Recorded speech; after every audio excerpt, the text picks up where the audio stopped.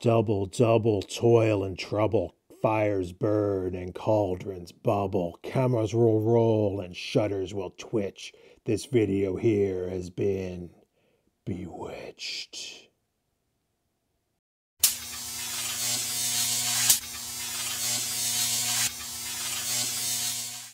turned me into a newt. Got better.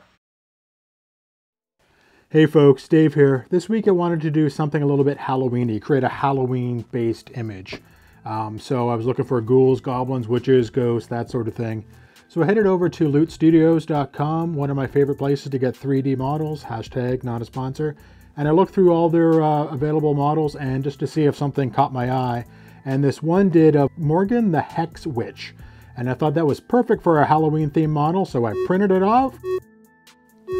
And here it is. It's um, smaller than I thought.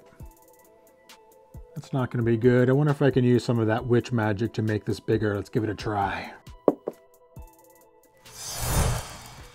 And there you go. Let's print this sucker up and make ourselves a witch.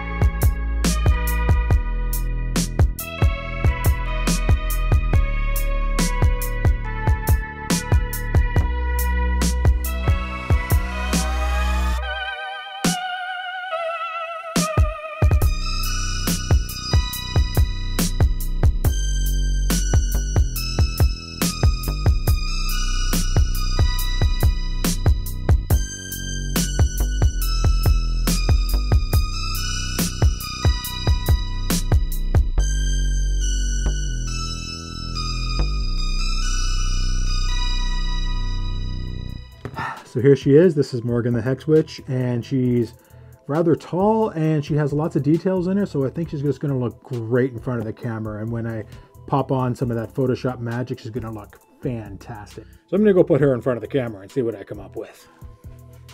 All right, we're set up in my shooting bay. I have Morgan here uh, in front of the TV. I've decided this time I'm not going to actually use the TV to display a background. I have this idea of having this big moon on the, behind uh, Morgan and like some dramatic clouds and maybe some fog effects. But I think I'm going to do all that in post. No particular reason why, I just feel like being more Photoshoppy than in camera today. So uh, I'm just gonna take a picture of her. Um, what I'm gonna do is do my normal uh, thing with the lights is to take several exposures and just move the light around uh, from spot to spot. And that just allows me to get the highlights in the right spot. One of the reasons why I do that is if I have a camera like this, the spillover um, onto other parts of her, like I just, if I put the light here and I just want the light on the edge, it spills over everywhere. So if I do multiple shots, then I can select the bits I want in post and then combine it to make give the exact light that I want. So that's pretty much what I'm gonna do. The only other thing I've done here is Morgan is, she sits back a bit. So I just put um, underneath her just a little um, a, little filter there just so she leans just a little bit forward just so she looks a little bit better in frame. So I'm gonna take a few shots here and then head over to Photoshop.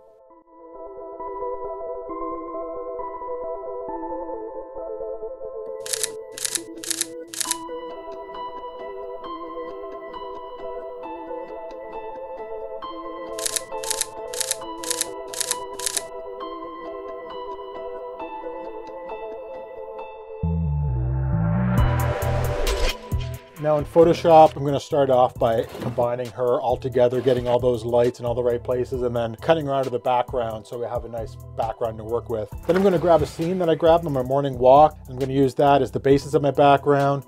Then I'm gonna grab a moon from NASA. That moon will slide into there just nicely. Then I'll add in some fog. Fog always has that uh, layer effect gets deeper as you go back farther. So I always layer in the fog by putting a bit behind her, and then a bit more in front of her. I'm also using some of the fog as a bit of a vignette. And then I'll do some color grading to tie everything all together. And then there you go. There's my final image. And I think it's a knockout.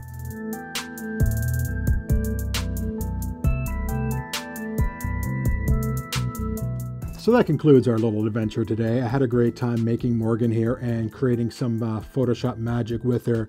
And if you think about it, I created some real life magic too, because in creating Morgan a few days ago, all she was was a little bit of 3D resin goo and some paints. Just a little bit of liquid and a bit of time in a 3D printer, and I was able to create solid art out of it. And I think that's pretty cool.